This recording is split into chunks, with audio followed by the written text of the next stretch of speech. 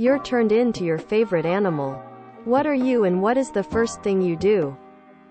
Grizzly bear. I get out my house and find a big forest.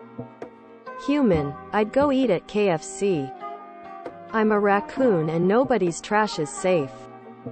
I'm a crow. Guess I'll be part of a murder.